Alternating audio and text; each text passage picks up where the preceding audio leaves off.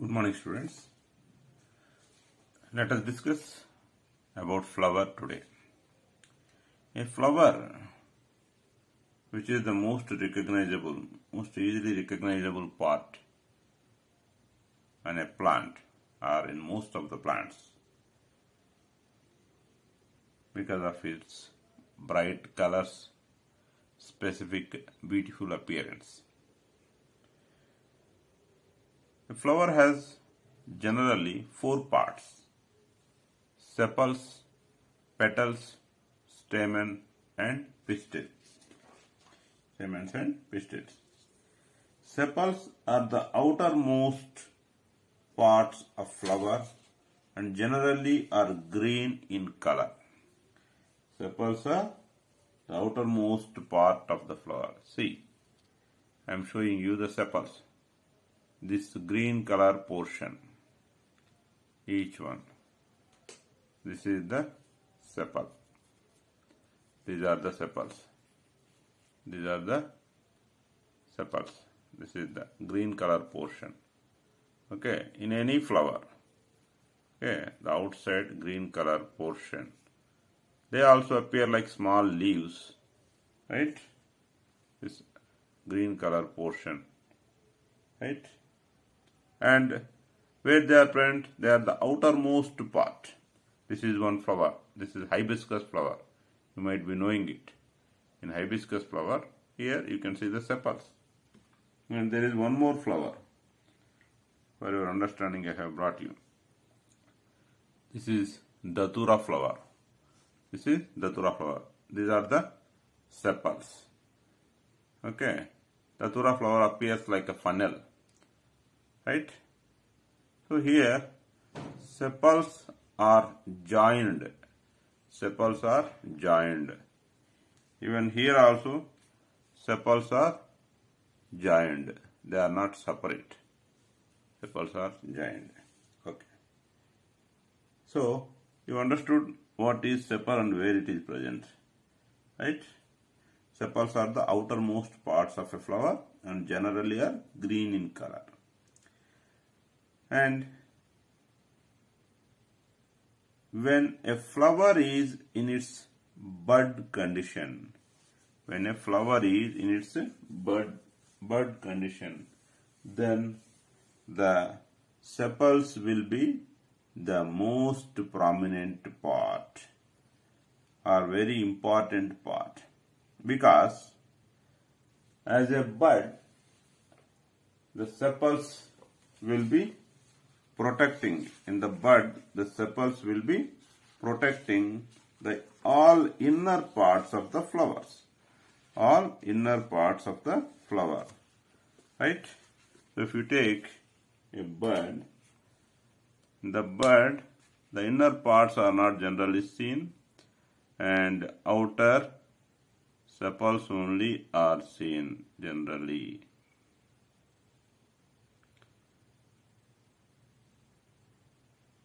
like this. The inner parts are not completely seen.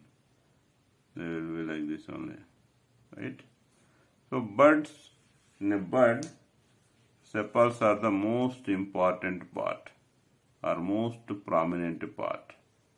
In a completely open flower, sepals may be hidden downside and petals start appearing outside. And coming to petals. Petals are the most easily recognizable parts in a fully open flower. In a fully open flower. See, if you take this flower, right? These are the petals. These are the petals. In the Datura plant, even petals also are joined. They are not free. And if you take hibiscus, petals are free petals each petal you can see separately each petal like this right? In some plants petals are joined in some plants petals are free are separate. So in a fully open flower or fully blossomed flower petals are the most easily recognizable parts. So in a open flower what is the prominent part? Petals. In a bud. What is the most prominent part? Sepal. So, in bud, in bud, sepals are the prominent part. In bud, sepals are the prominent part. In petals, sorry, in open flower, petals are the prominent part. Open flower, petals are the prominent parts. You take the grass plants, sepals, petals, okay, are generally three or in its multiple numbers. In grass plants, grass plants, sepals and petals, the number of sepals and petals is generally 3 or its multiples like 6 or 9 etc. Whereas in non-grass non-grass plants like gram, rose, just now hibiscus we have seen. What is the number of petals? If you carefully count, one, two, three, four, five. Okay. In some, it may be four. Right. So the number of sepals and petals in non-grass plants, non-grass plants is how much? 4 or its multiples are 5 or its multiples. Right? In some plants, sepals are present not attached to one another or simply they are present separately. Mm, Some other plants they are attached. Just now we have seen two flowers, hibiscus and datura. The sepals are attached to each other. The sepals are attached to each other in hibiscus. In datura also the sepals are attached to each other. Right? In some plants the sepals are free. You can collect, you can observe some flowers in which the sepals are free. Right?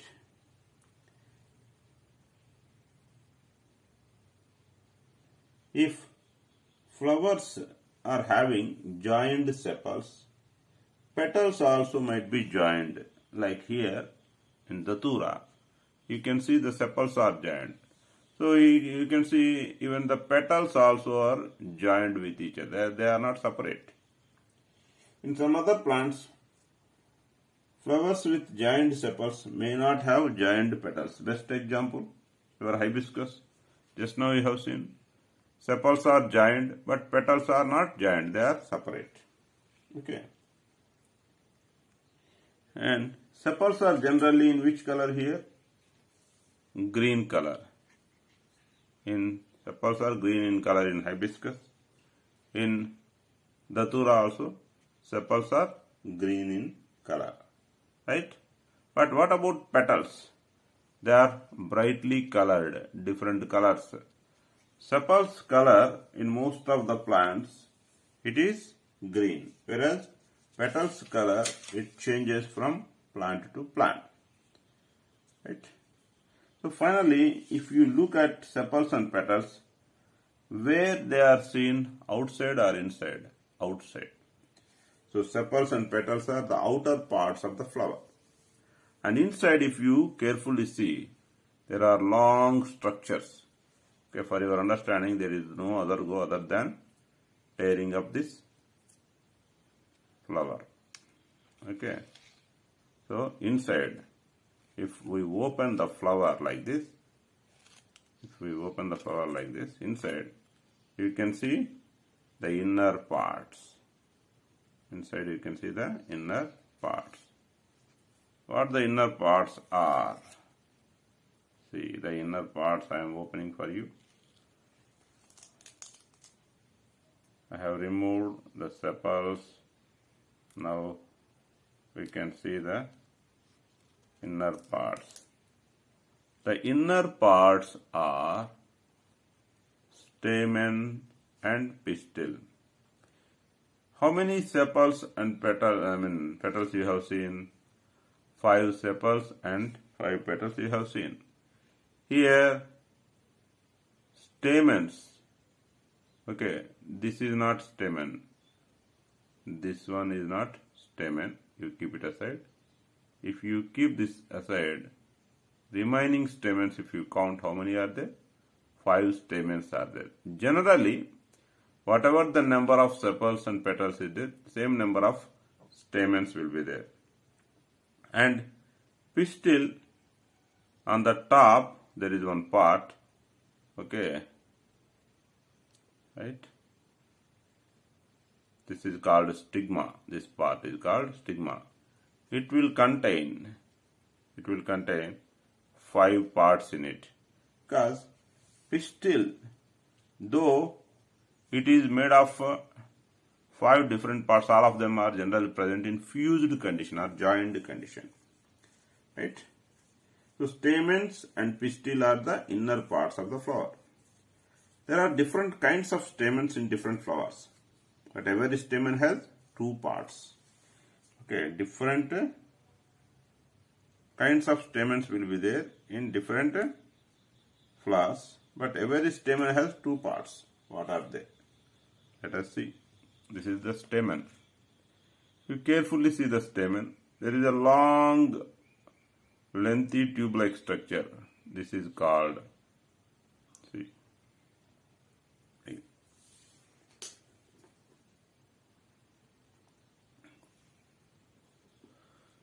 this long, okay, structure is there. Na? This one is called filament. It is called filament. And on the top, on the top,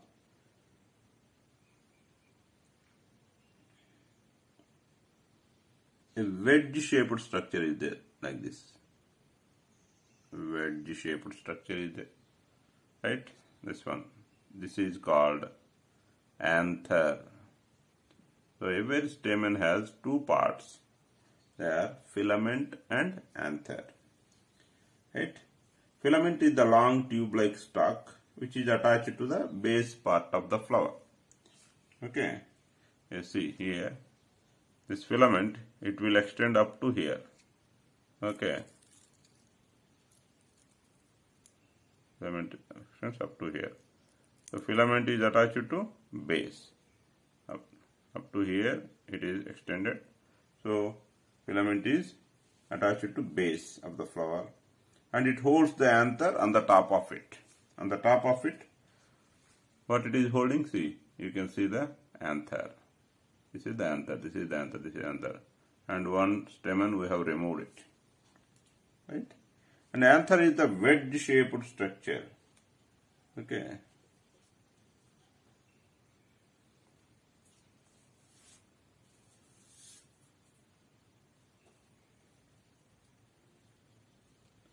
Anther is the wedge, wedge shaped structure. This is wedge. If you can clearly see it. Okay this is the wedge shaped structure. Wedge means like this. And there is the wedge shaped structure. Right? And it contains yellowish powder or pollen. Yellowish powder or pollen here you can see the yellowish color very clearly this one right here the stamens are different See here pistil you can see five parts, five different parts. In some pistils, the carpels are not fused or they are separate. That is hibiscus you can see. Carpels are not fused. But stamens are fused. All stamens together they have got one stalk like structure. Okay, right? Whereas still it is not fused. Five different parts you can see see. Five different parts. Right? Can you see? The five different parts here. One two three four.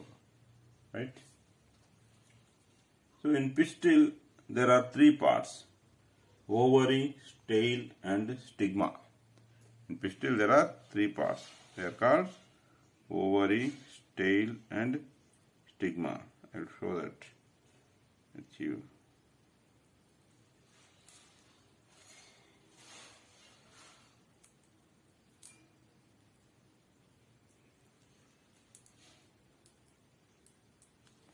Pistil is the innermost part.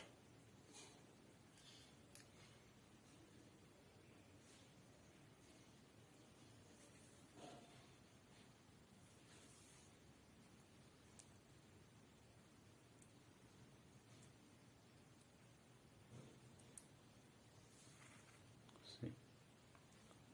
There is a bottom part in pistil. This is called ovary. This is swollen part. Swollen means bulged part. And the long middle part. This one. It is called style. Okay. And the top part. Okay. Top part is known as. This one is known as what? Stigma. So there are totally three parts. Ovary, style and stigma. They are the three parts. And inside the ovary, if we cut open the ovary, we can see small beads like structures. Okay. Inside the ovary, we can see small beads like structures. If we cut to open the ovary, okay, I will just draw the pistil part.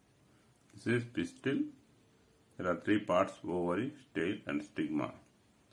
And this is stamen. There are two parts filament and anther. So we have already learnt about this one. Coming to ovary, I mean pistil, right? Stamen pistil. Pistil is the innermost part. Pistil is the innermost part. Right? In pistil, the ovary contains many small beads like structures.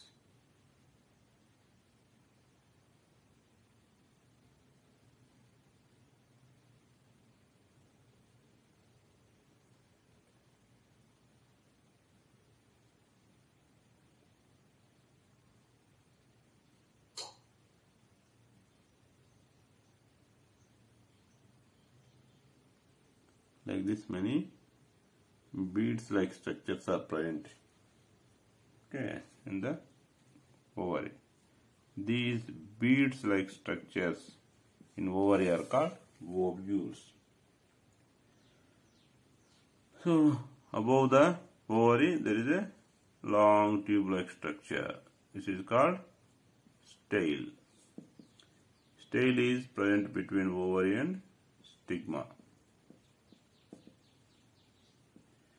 top wedge shaped structure is known as stigma. Stigma is sticky. Sticky means it has got uh, what's say attaching nature. Means if something comes on and just touches it, it gets attached to it because it is sticky in nature, right?